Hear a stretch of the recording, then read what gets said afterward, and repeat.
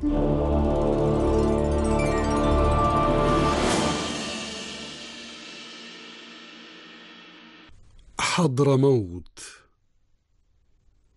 اسم ألفته الذاكرة العمانية.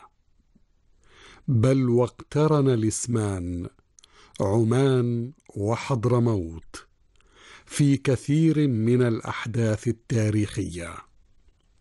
حضرموت التي تشبه عمان حتى في جبالها التي تحتضن السحاب ليهبط خيرا ونماء حضرموت التي كانت محطة مهمة على خط سير الهجرات القديمة من مأرب إلى عمان.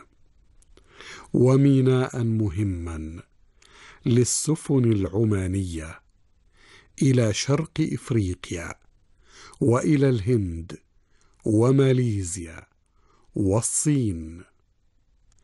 كما كانت مقصدا للرحلات العلمية. عرب عمان وعرب حضرموت أسهموا في نشر نور الإسلام في مجاهل إفريقيا. فليس مستغربا أن يحضر الإمام الجلند بن مسعود في عام سبعمائة وستة وأربعين ميلادية بيعة الإمام طالب الحق عبد الله بن يحيى الكندي في اليمن. ليتدفق منها المهاجرون إلى عمان.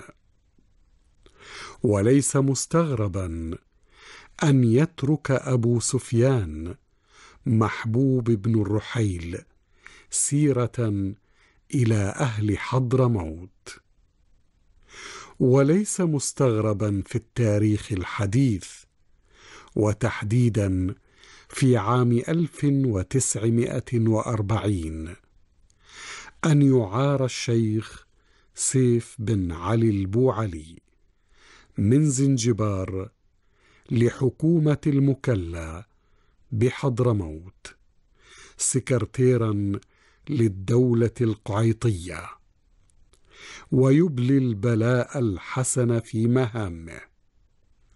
ويتوج علاقته باليمن بالزواج بإحدى نسائها.